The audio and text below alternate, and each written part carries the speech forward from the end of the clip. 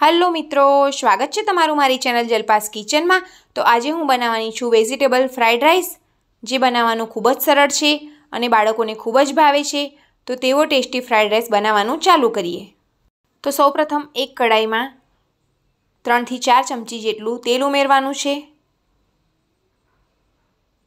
ચાઇનીઝનો test nonstick કરતાં એલ્યુમિનિયમની કઢાઈ કાં તો લોખંડની કઢાઈમાં એકદમ બહાર જેવો જ આવે છે. તેલ સારી રીતે ગરમ થઈ જાય ત્યારબાદ તેમાં આદુ મરચાં લસણની પેસ્ટ ઉમેરવાની છે. કાં તો આદુ મરચાં લસણ ચોપ કરેલા હશે, તો પણ તેનો ટેસ્ટ સરસ આવશે. ચાઇનીઝ બનાવતી વખતે ગેસની ફ્લેમ આપણે વધારે જ રાખવાની છે. આદુ મરચાં લસણ સારી રીતે સંતળાઈ જાય, ત્યારબાદ ઝીણી સમારેલી ડુંગળી,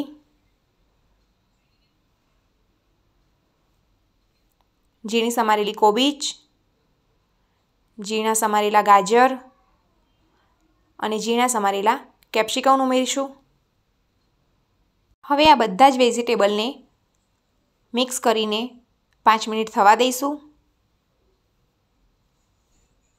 ત્યારબાદ તેમાં સ્વાદ અનુસાર મીઠું અને એક ચમચી આજીનો મોટો ઉમેરવાનો છે. આજીનો મોટો એક પ્રકારનું ચાઇનીઝ મીઠું જ આવે છે. હવે બધા જ વેજીટેબલને સારી રીતે મિક્સ કરી લઈશું.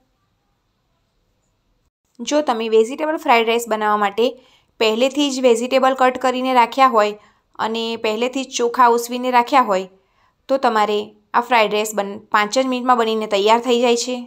હવે આપણા બધા જ વેજીટેબલ સારી રીતે સંતળાઈ ગયા છે. ત્યારબાદ તેમાં એકથી દોઢ ચમચી જેટલો સોયા સોસ ઉમેરવાનો છે. ત્યારબાદ તેમાં રેડ ચીલી સોસ ઉમેરીશું. તમારે જેટલી તીખાશ જોઈએ તે પ્રમાણે રેડ ચીલી સોસ ઉમેરવાનો. ત્યારબાદ ટોમેટો સોસ ઉમેરીશું. ત્યારબાદ બધા જ સોસીસ અને વેજીટેબલને સારી રીતે મિક્સ કરી લેવાના છે અને ત્યારબાદ તેમાં રાઈસ ઉમેરીશું.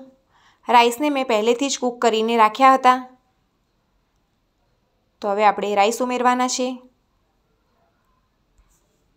તમારે જો ફ્રાઈડ રાઈસ એકદમ વધારે સ્પાઇસી જોઈતો હોય, તો તમે ફ્રાઈડ રાઈસનો જે મસાલો મળે છે, રેડીમેડ તે પણ તમે તેમાં ઉમેરી શકો છો.